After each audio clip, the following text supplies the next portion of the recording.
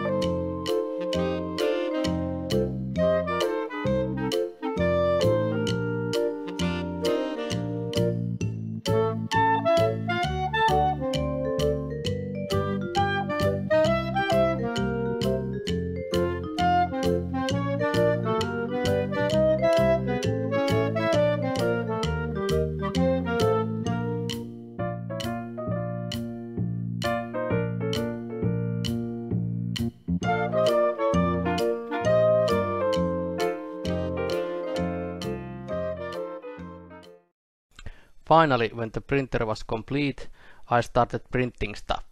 First, I printed a cube, then a better filament holder, then I made a gingerbread mold, which kind of worked too. Life was good. Then I went online again and bought an LCD display for my awesome new toy. To make it even more awesome. I attached the new display on the printer and uploaded a new firmware. Then all hell broke loose and I was like... It took me two whole days going through the configuration H file in the firmware to figure out the problem. I actually owe a big thank you to Thomas Sanladerer.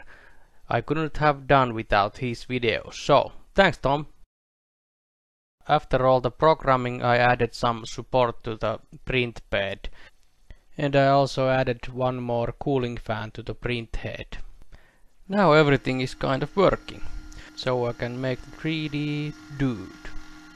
I just discovered this uh, program called Sculptris and uploaded it on my PC, I mean personal computer, uh, and I made this with it.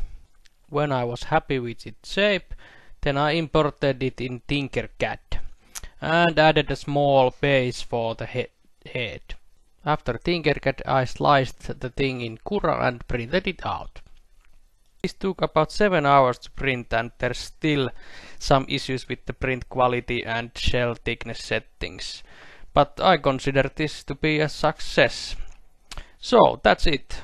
Please tell me what you think and thanks for watching.